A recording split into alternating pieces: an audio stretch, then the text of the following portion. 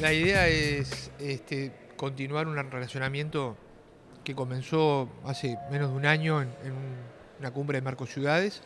Quilmes es un municipio de la provincia de Buenos Aires que tiene características complementarias con Canelones.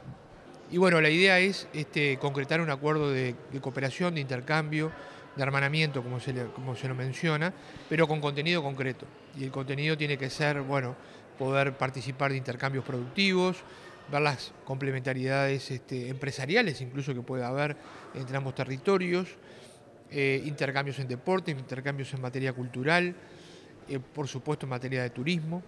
Y entonces hoy logramos hacer o realizar un, evento, un encuentro, de un diálogo eh, que encabezaron, digamos, el secretario general, Francisco Leñán, y el jefe de gabinete de, Quilmes, y las distintas direcciones involucradas en un posible acuerdo.